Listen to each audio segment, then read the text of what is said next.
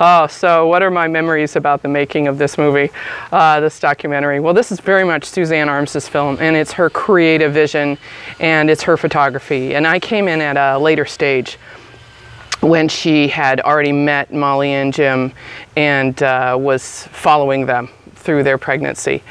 Uh, so it was her idea also to use the slides rather than voiceover narration, which is more common, um, but she wanted it to have much more of a visual impact. That was important to her. Uh, there was only one argument uh, that I lost, uh, where my creative input was uh, overruled.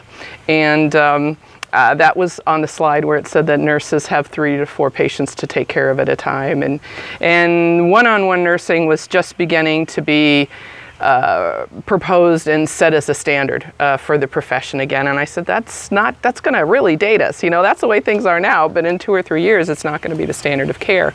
And it's not, even in big city hospitals.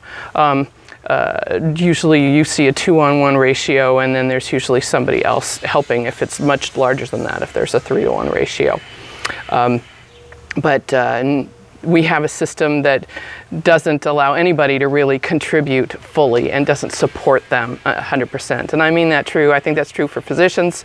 Um, they're curtailed in what they want to do by policies. Nurses are curtailed um, by what they would like to do for patients. And that's why we have doulas who are coming in and trying to help women to negotiate and communicate much more effectively. And I think they're well represented in this system too.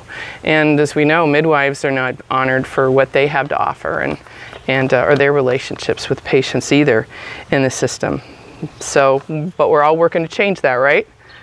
That's what we're here to do, is to make it better for everyone, the people who work in the system, as well as the people who are using perinatal care.